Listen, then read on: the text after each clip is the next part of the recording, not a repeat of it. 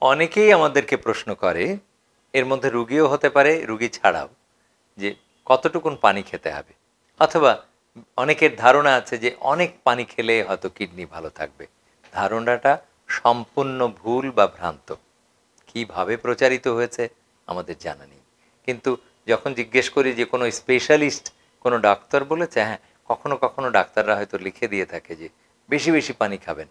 কিন্তু এই বেশি বেশি যে কতখানি বেশি হতে পারে আমি একটা রুগী পেয়েছিলাম। তিনি আবার একজন ডাক্তারের স্ত্রী তিনিও একজন ডাক্তার। তাকে একজন ডাক্তার লিখে দিয়েছিল যে, দশ লিটার পানি খেতে হবে। এটা খুবই বাড়াবাড়ি ধরনের বেশি।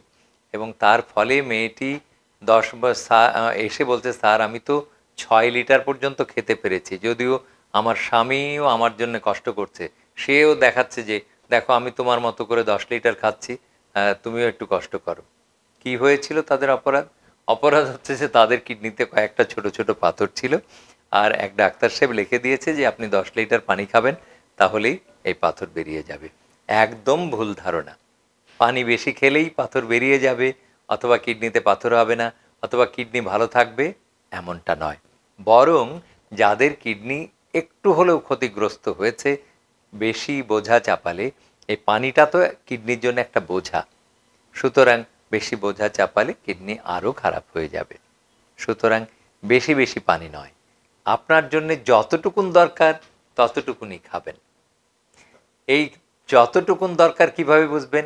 আপনার যখন পিপাসা লাগবে, কারণ আপনার স্রষ্টা এতই মহাবিজ্ঞানী, তিনি তৈরি করে, তৈরি করার সময় আপনার মধ্যে থার্স্ট সেন্টার বা পিপাসার অফিস তৈরি করে দিয়েছে ব্রেনের মধ্যে।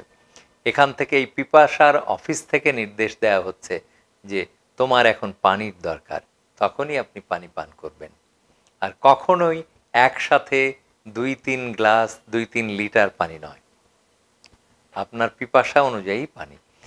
আমি সারাদিন ঘরের মধ্যে বসে বসে কাজ করি, আর একজন রৌদ্রে বসে, রৌদ্রের ঘেমে, নিয়ে কাজ করছে, আর একজন রিক্সা চালাচ্ছে, আর একজন গরম চুলার পাশে সারাদিন রান্না করছে, সবার জন্য পানি কিন্তু এক সমান নয়। কাজেই ডাক্তার সাহেব বলে দিতে পারবে না যে আপনার জন্য কতখানি পানি দরকার।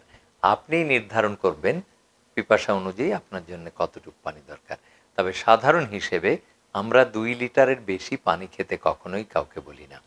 যদি কিডনির থেকে প্রচুর পাথর তৈরি হয়, তাহলে আমরা বলে দিই যে দুই লিটার প্রস্রাব হয়, এই পরিমাণ পানি খান।